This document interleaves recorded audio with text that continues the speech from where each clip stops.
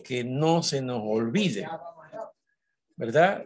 Porque nosotros son, son cositas como tontas, pero por ser tan, pero tan tonta y tan inocente que se nos va la, se nos va la, se nos va la onda y, ahí, nos, ahí se caen. Muchos estudiantes se caen ahí. La mayoría de los estudiantes se caen allí, en esas cositas que son, ay, eso está suave, maestro. Ah, ah, tanto entre cero y cero, pero a la hora que hacen el ejercicio, ¿verdad? Ponen un poco de cosas que no cero. Otra cosa, me le ponen signo a cero. El, el cero no lleva signo. El cero no es negativo ni positivo. En toda respuesta, cuando es cero es cero. Y se acabó. Signo negativo, positivo, no. Muy bien. Entonces, la próxima clase que tenemos de cuál es. A ver, muchachos. Español. Tenemos recreo y después español. Recreo y después español. Recreo. A ver. Ah, sí, recreo.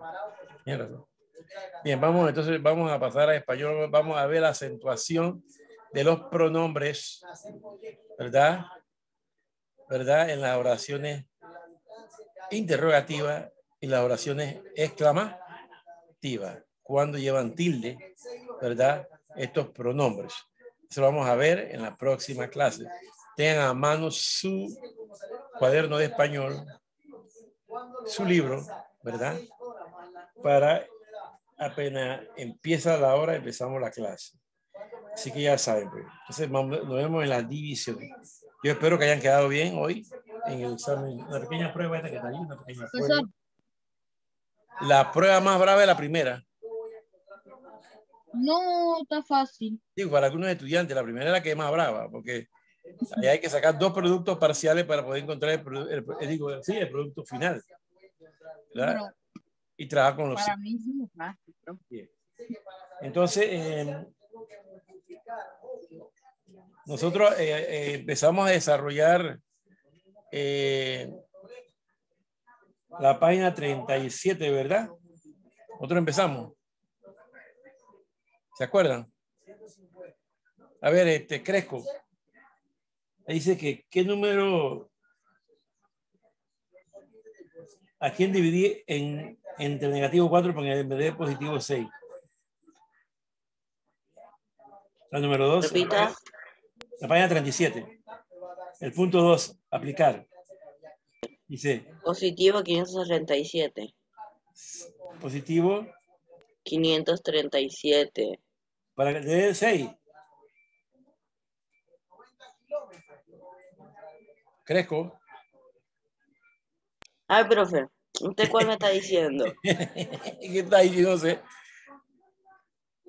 Página 37, hijo. Sí, yo estoy en la página 37 y usted me dijo punto 12. No, el, punto, el punto 2, arriba. Ah, el 2, eh, negativo 24. Negativo 24 para que te diera positivo 6, ¿verdad? Nosotros mismos, hasta, nosotros desarrollamos eso hasta, a ver, vamos a ver. Eh, voy a preguntarle a un estudiante por ahí. A ver, oye, este, Elena Acevedo, usted hizo la número 11. El problema 11, la 37. La respuesta. Ajá, ¿la tiene? Negativo 10, negativo 15. Negativo 15. ¿Están de acuerdo con ella? ¿Están de acuerdo? ¿Negativo 15? Sí. Ok. Sí, profe. Bien, bien. Eh, vamos, a la, vamos a la 16, pues. ¿Quién tiene la respuesta a la 16? No, maestro. A ver, Kersey. Vamos te dio la 16? Eh, positivo 19. Positivo 19, ¿están de acuerdo con ella? Muchachos, positivo 19. Sí. Levanten la mano, ¿están de acuerdo con ella? A ver, a ver. A ver, la votación, votación, votación.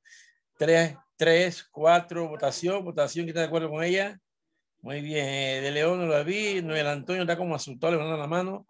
Jeremy ni se acuerda. Jeremy está mirando para todos lados, menos para. ¿Verdad, Jeremy? ¿Qué entonces, Jeremy? Jeremy dice que está hablando. Profe, es que el interés se me había ido. Ah, ya, pues, perfecto, gracias. Vaya la mano, muy bien.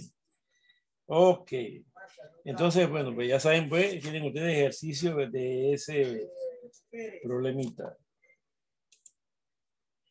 ¿Cuánto pasa?